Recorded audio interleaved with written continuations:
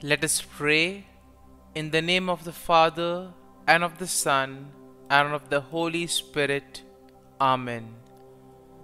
O Jesus, through the Immaculate Heart of Mary, I offer you my prayers, works, joys, and sufferings on this day for all the intentions of your Sacred Heart in union with the holy sacrifice of the Mass throughout the world, in reparation for my sins, for the intentions of all my relatives and friends, and in particular for the intentions of the Holy Father. Amen. Let us pray for the intentions of the Holy Father for the month of November. For anyone who has lost a child, we pray that all parents who mourn the loss of a son or daughter find support in their community and receive peace and consolation from the Holy Spirit. Our Father, who art in heaven, hallowed be thy name. Thy kingdom come, thy will be done, on earth as it is in heaven. Give us this day our daily bread, and forgive us our trespasses, as we forgive those who trespass against us. And lead us not into temptation, but deliver us from evil. Amen. Hail Mary, full of grace, the Lord is with you. Blessed are you amongst women, and blessed is the fruit of thy womb, Jesus. Holy Mary, Mother of God, pray for us sinners now and at the hour of our death. Amen.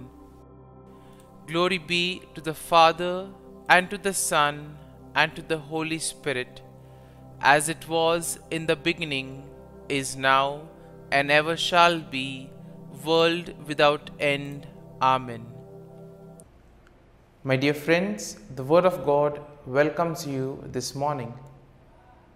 And as we spend this time with the Lord, as we begin this new day by devoting time to the Lord, let us ask the Lord to be with us, to guide us, to protect us, and most importantly, to lead us on throughout this day.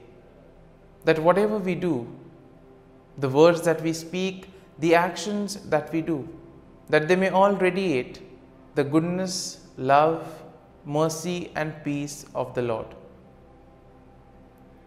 Many times in life, we are so caught up with the activities, with our work, and because of that, we see that sometimes we find it difficult to recognize the small blessings and the graces that we continuously receive from the Lord.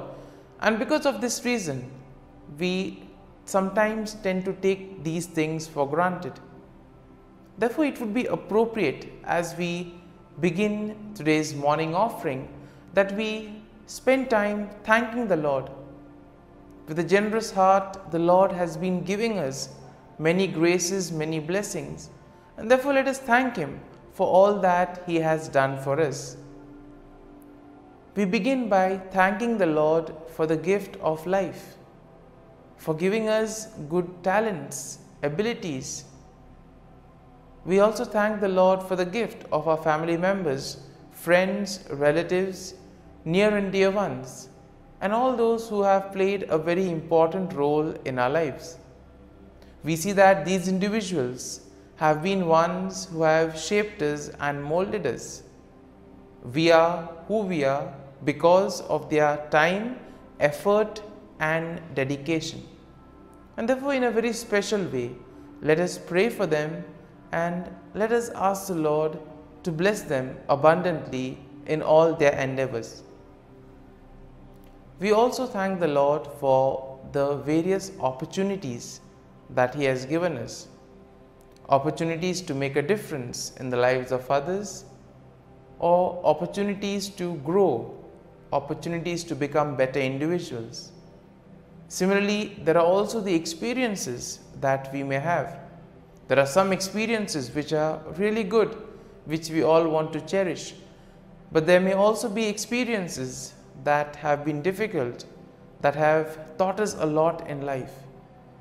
It is these experiences which may have been harsh, which may have been difficult, but these have made us stronger, have made us understand better our purpose in life.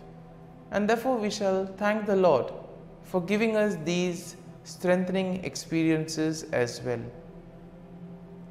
We also thank the Lord for the gift of this day. We thank Him for protecting us, for guarding us through the night, and giving us the gift of this day, a day that will help us to probably complete something that was left incomplete or maybe to do something that may make a difference in the lives of others. And therefore, today, in a very special way, let us ask the Lord to be with us and guide us. And now we shall reflect and meditate on Psalm 51. As usual, we shall have a general overview of the psalm and then we shall gradually enter into the details trying to see a few verses and what they try to communicate to us. Now, Psalm 51 is a penitential psalm, which means that it is a prayer of repentance and at the same time it is also a plea for forgiveness. It is attributed to King David, who wrote it after he was confronted by the prophet Nathan about his sin with Bathsheba.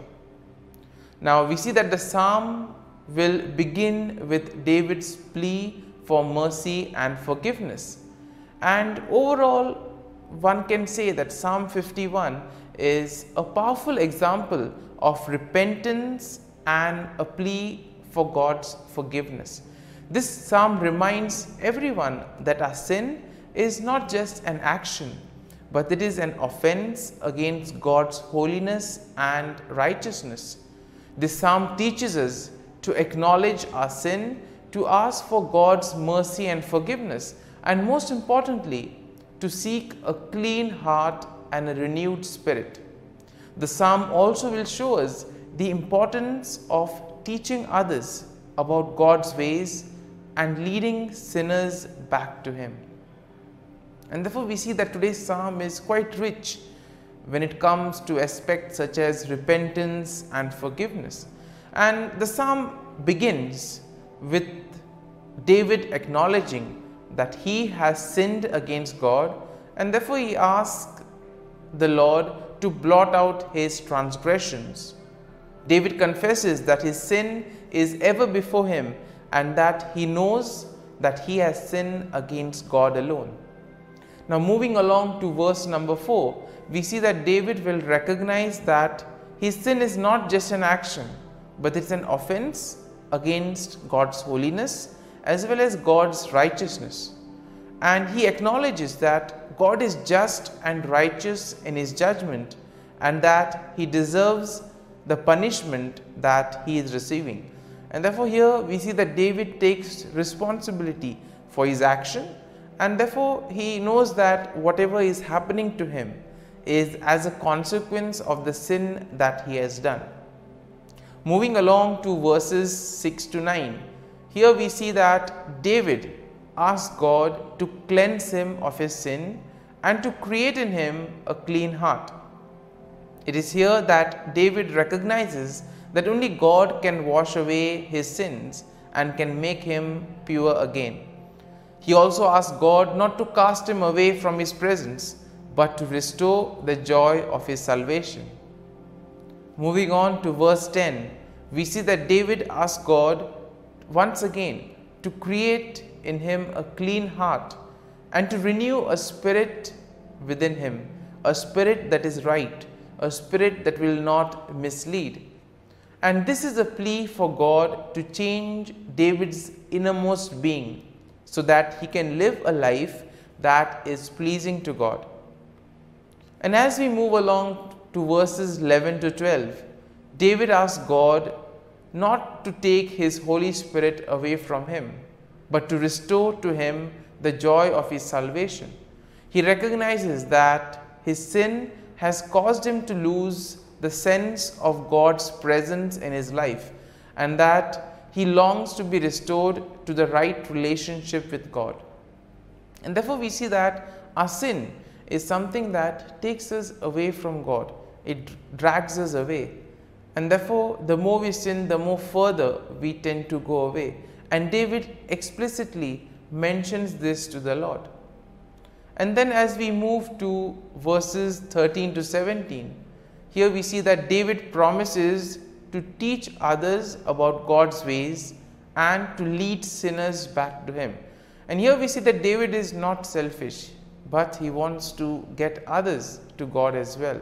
He wants to share the forgiveness and the repentance of the Lord with others. And therefore, this is also part of everyone's mission. Through our words, through our actions, we are called to lead people to God, to help people follow the right path. And we see that here David also recognizes that God does not desire sacrifice, but a broken, contrite heart. Therefore, the repentance that we have should be truly from within. That is what the Lord wants us. He doesn't want us to perform rituals, but He wants us to truly repent and mean every word that we say. And here we see that David understands that only through repentance and obedience can anyone find true forgiveness and restoration with God. And we see that the psalm finally ends with a plea for God to bless Jerusalem and to bless his people. David recognizes that his sin has not only affected him, but also has affected the entire nation. And therefore, he asks God to restore them to a right relationship with him. And so, my dear friends, having reflected and meditated on this psalm, there may be some thoughts that would have touched us, some aspects of the psalm, perhaps something on forgiveness or repentance. Let us allow these thoughts to remain with us. And let us now close our eyes and at this morning hour, let us thank the Lord. Let us praise the Lord. Let us glorify the Lord. Loving Father, you have given us this time in the morning. You have been gracious to us. You have given us your Son, our Lord Jesus Christ, who has cleansed us from our sins. He has taken away all our sins and He has given us new life. Lord, as you have given us the Holy Spirit, we ask you, Lord, to bless us and to protect us. And for all this, Lord, we thank you, we praise you, and we glorify you. You have protected us, Lord, and you have guarded us all through the night. And you have given us this morning hour. For your great love and mercy, O Lord, we thank you. We offer you this day, O Lord, and all that we do. And we ask that you always be with us and accompany us in all our actions.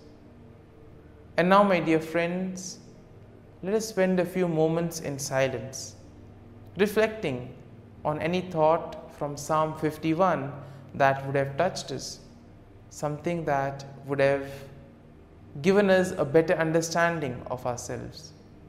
And let us remain with this thought, asking the Lord to change us to help us become better individuals.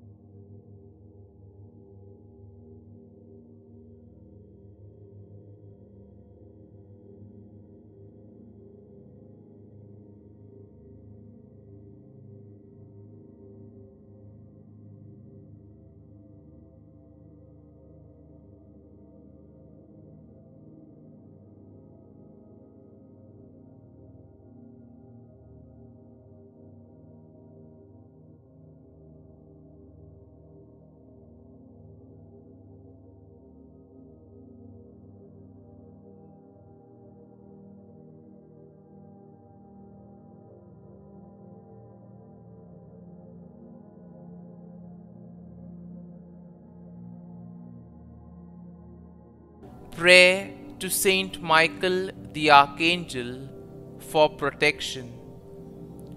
Saint Michael the Archangel, defend us in battle. Be our defense against the wickedness and snares of the devil. May God rebuke him, we humbly pray. And do thou, O Prince of the heavenly hosts, by the power of God, thrust into hell Satan and all the evil spirits who prowl about the world, seeking the ruin of souls. Amen. Act of Adoration O Sacrament most holy, O Sacrament divine, all praise and all thanksgiving be every moment thine. Saint Gertrude Prayer for Souls in Purgatory. Eternal Father, I offer Thee the most precious blood of Thy divine Son Jesus, in union with the masses said throughout the world today, for all the holy souls in purgatory, for sinners everywhere, for sinners in the universal church, those in my own home and within my family.